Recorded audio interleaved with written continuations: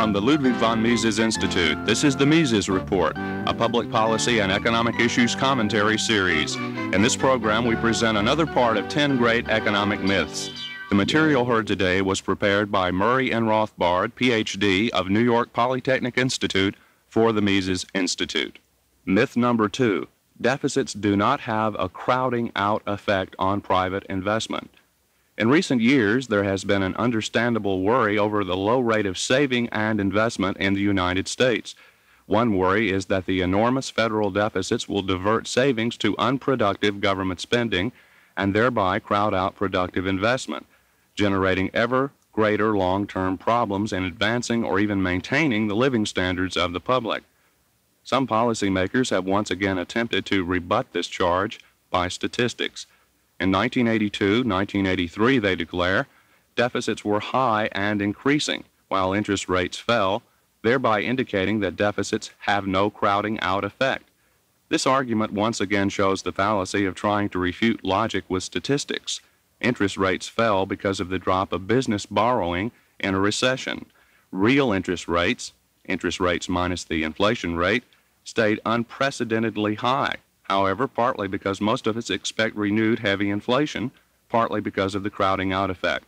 In any case, statistics cannot refute logic, and logic tells us that if savings go into government bonds, there will necessarily be less savings available for productive investment than there would have been, and interest rates will be higher than they would have been without the deficits.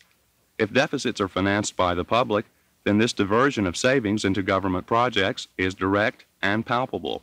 If the deficits are financed by bank inflation, then the diversion is indirect, the crowding out now taking place by the new money printed by the government competing for resources with old money saved by the public. Milton Friedman tries to rebut the crowding out effect of deficits by claiming that all government spending, not just deficits, equally crowds out private savings and investment.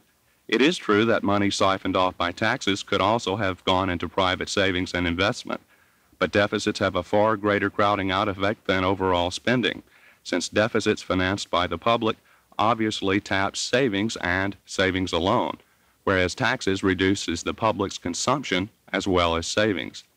Thus, deficits, whichever way you look at them, cause grave economic problems. If they are financed by the banking system, they are inflationary but even if they're financed by the public, they will still cause severe crowding out effect, diverting much needed savings from productive private investment to wasteful government projects. And furthermore, the greater the deficits, the greater the permanent income tax burden on the American people to pay for the mounting interest payments, a problem aggravated by the high interest rates brought about by inflationary deficits. You've been listening to the Mises Report from the Ludwig von Mises Institute. Funds for this series come from the Friends of the Ludwig von Mises Institute, a nonprofit educational foundation. Address your comments and inquiries to the Mises Institute, Thach Hall, Auburn University, Auburn, Alabama 36849.